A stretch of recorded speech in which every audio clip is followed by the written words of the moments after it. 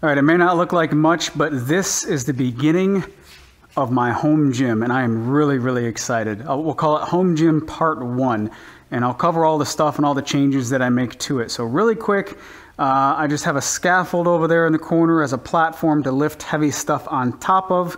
I've got a wheelbarrow right here for various different things, and a couple sandbags. And maybe you can see them. Yeah, you can barely see them. I got some uh, gymnast rings right here for some body weight hanging stuff.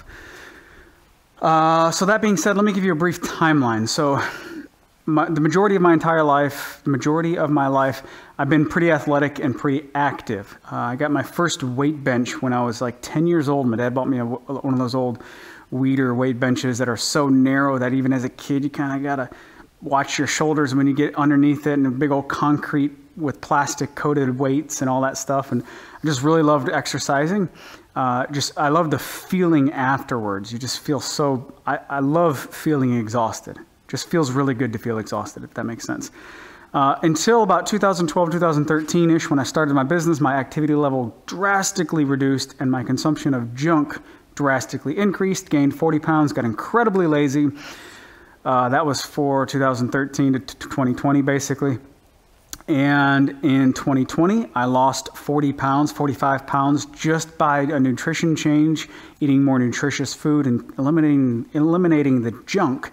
And then at that point, I really got the itch to exercise, but I don't want to just start spending money on stuff. You got to earn it. You got to, got to know that you uh, actually want to do this. So I made the decision to do body weight only exercises for a few months. And if at that point I was consistent with it, then I'd go ahead and add to the next step. Well, I checked that box, a lot of body weight exercises for several months.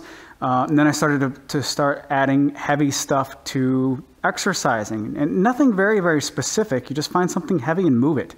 Very, very basic stuff. Um, I saw a video on YouTube. The guy said, uh, point blank, he said, just find something heavy and lift it up. Just, just quit over analyzing stuff. Find something heavy and lift it up. Uh, lift it up safely. And the reason, the, the way he was saying it was, is like no one, no one says, you know, hey bro, can you help me lift this barbell up this set of stairs? No, it's always, can you help me lift this sofa or can you help me move this refrigerator? Just random, awkward, heavy stuff. So if you can move random, awkward, heavy stuff uh, in an exercise routine, well, you can do it in your daily life too. So uh, I have a few heavy things around the property. I've got a couple slabs. Uh, specifically, the heaviest one I have is Osage orange. It's like 60 inches long, 14, 16 inches wide, 3 inches thick. It's a big, heavy chunk of Osage orange. Just pick it up and walk around. And, you, and I feel tremendous after doing that. Just It's a good physical release. Um, and then uh, I've got a wheelbarrow, as you can see right there. I'd load it up with wood, walk it around the yard put it back, unload it. And that's kind of, you know, boring and sounds like crazy work, right? Why, why would you just, why would you do that? Well, uh, basically, when I've got stuff on my mind or I'm trying to figure something out or work out a problem in my head, I'll pace and, and laps around my shop. I'll just come in here and just start thinking and walking, thinking and walking, thinking and walking.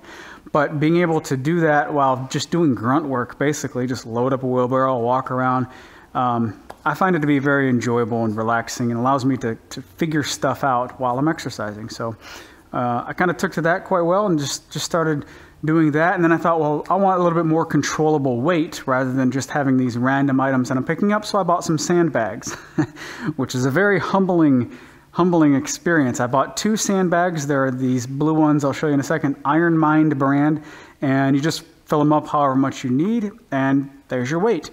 What's cool about these bags is you don't have to fill them to the capacity for each size. So I think I got, uh, well, I got two, the smaller and the larger, and I think the smaller one is rated at 150 pounds of sand, the large one rated at 300 pounds of sand, something like that. And here's the humbling experience. I thought, no problem, you know, I'll get the, the small sandbag and I'll put 150 in it. That'll be fine. I'll get the bigger sandbag, you know, two, maybe 250 in it, and it'll be fine. Because I remember being much stronger than I am right now. I put 100 in the small one, and I was like, oh, that's, that's no joke. put 150 in the larger one, I'm like, yeah, I think I'm just going to have to earn the rest of the weight. We'll, we'll stick with these for a little while. Uh, but I've been using these two sandbags for a couple months now, and and uh, really, really good exercise with very, very basic stuff. So let me just show you the corner of what we already have, what I already have, and uh, some of the plans that I have going forward. Before I get into this, I just want to make one quick point that I'm not going to turn this into a fitness channel or anything like that or document a tremendous amount of the fitness stuff. I just want to share my hobby with all of you and, and hopefully there'll be some like residual encouragement to do the same, to get stronger. Uh, when I shared my, um, my, my weight loss article, since then, it's been five and a half months. Since then, I've had dozens, probably 50 people send me an email or, or an Instagram direct message saying, hey, uh, I, I, took your advice or, or, did the same thing you did, and hey, I feel so much better. I'm down 20, 30, 40, 50 pounds already. Ridiculous amount of awesome success from just from posting that, that little article on my website. And uh, uh, I guess it, you know, it, it, did well with some people. So that was really, really cool and encouraging, getting goosebumps talking about that. And if anybody can take a little bit of this particular video and get that encouragement to uh, start exercising without a whole full-blown home gym at first or a, uh, you know, expensive gym membership, you don't need a lot of stuff to just get started. Uh, so anyway, there's that. Um, when I got this, when I got the bags, um, I was basically looking at a bunch of like strongman exercises, just lifting heavy stuff and moving around. And one of the things that a lot of in the strongman competitions is like Atlas stones. Uh, you lift a heavy object to a platform. Uh, that is the task. So I wanted a platform of some kind, and well, there's no need to make anything specific when I already had something like this scaffold, just put a 2x12 across the top, and there you go. Lift it up to the platform, throw it back down. Lift it up, throw it back down. Lift it up, throw it back down. Basic lifting, heavy, brace your core, all that good stuff. Uh, so I've been I've been using this on an almost daily basis for the past two months ish, one month ish, two months ish, and um, tell you what, it's it's uh, humbling. Like I said, it'll wear you out big time. I've recently also started using my wheelbarrow for, um, is it farmer's carry? Farmers? Yeah, farmer's carry. Let me, let me bring you over here. Under normal circumstances, the whole point of a wheelbarrow is to make the operator's job easier. Moving and transporting, lifting heavier, bulkier objects is easier in a wheelbarrow than you know just picking it up by hand. So we want the opposite of that to actually exercise. You don't want the exercise to be really easy because you're not going to get any benefits from it. So to do that, you want to kind of reverse engineer or reverse the concept of the wheelbarrow. So with the wheelbarrow, all of the weight, as much of the weight as possible over the tires means less work the operator has to do over there. Plus you have long handles, so you kind of have a mechanical advantage to just basically balance the weight while all the weight is supported over here.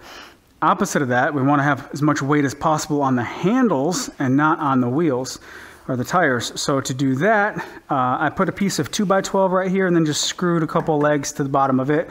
This is all independent of the wheelbarrow, it's just sitting in place. And then I put the bigger sandbag on top of it right next to the handles. So this is 150 pounds, 100 pounds, 30 pound kettlebell I have in here. That's 280 pounds of additional weight.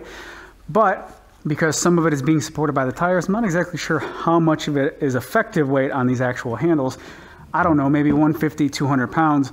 But in this orientation with a set of handles, it's much more uh, user friendly to carry and walk uh, rather than holding like a big 150 pound sandbag that you have to, um, you know, uh, you have to manipulate the weight on your chest or hold it up or whatever. It's just much, much easier to, to hold these handles.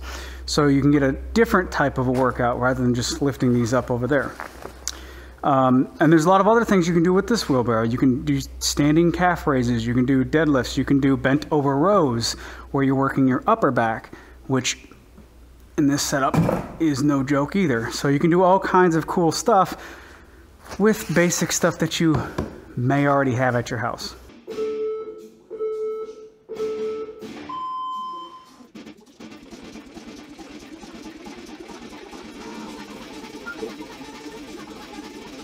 So yeah, you don't need a bunch of stuff to start exercising and lifting heavy and, and feeling fantastic. But uh, I do want to have a, a, nice gym out here for not only myself, but my family, my friends, my, my neighbors, uh, someplace that we can uh, grow together, get stronger together.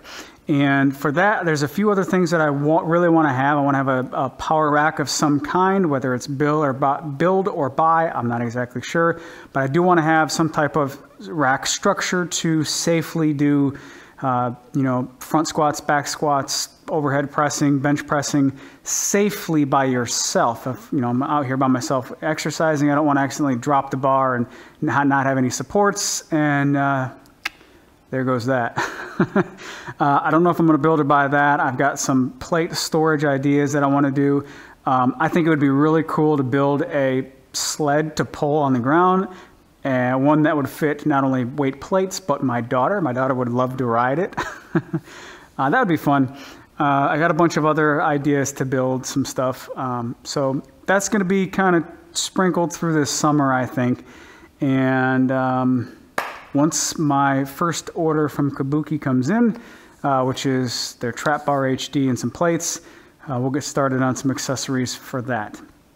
Just wanted to start this series, hopefully uh, encourage some of you out there to uh, get stronger, just lifting heavy stuff that's around you. You don't have to go out and buy a bunch of stuff. And if, hey, if you want to just go out and buy a bunch of stuff, then do that.